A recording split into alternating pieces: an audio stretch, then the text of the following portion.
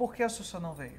A Xuxa, por quê? A Xuxa vinha no, no nosso trio. Só que a Xuxa não tinha a marca, a marca de bebida, que é a nossa marca patrocinadora é bebida. Hum. E a Xuxa não poderia cantar num trio com marca de bebida. E era o único patrocinador que eu tinha.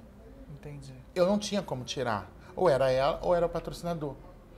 Entendeu? Então a marca de bebida daria o cachê dela se ela cantasse no meu trio.